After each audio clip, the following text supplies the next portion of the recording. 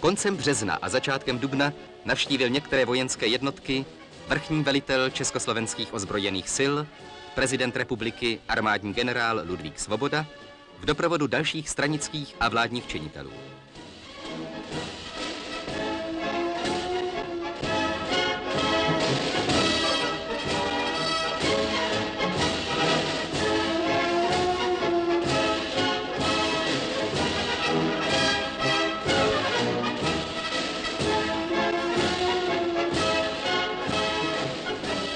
Po přehlídce si prohlédli ubytovací prostory tankového praporu a byli svědky cvičného poplachu.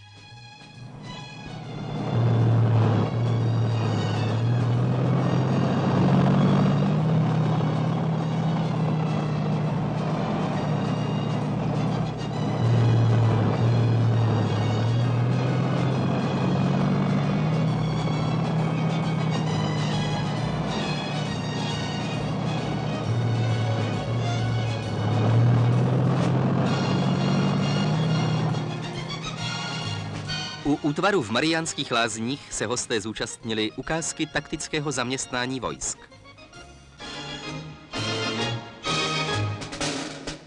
Prezident republiky navštívil také jednotku pohraniční stráže na naší západní hranici a přesvědčil se o bojové připravenosti a pohotovosti všech vojenských útvarů. V dalších dnech zavítal prezident Svoboda do Českých Budějovic mezi piloty stíhače a ostatní příslušníky leteckého útvaru.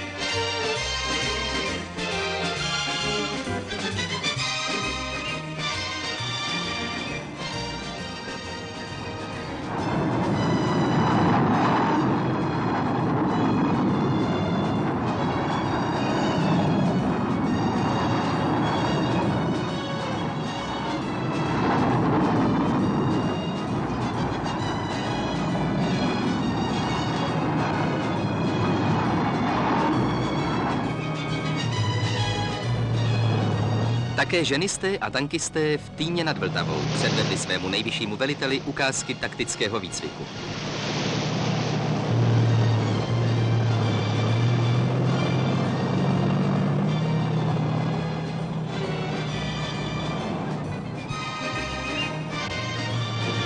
Cílem návštěv prezidenta u některých vojenských útvarů bylo seznámit se osobně se stavem bojové připravenosti a vycvičenosti jednotek s materiálním zabezpečením a podmínkami života vojáků.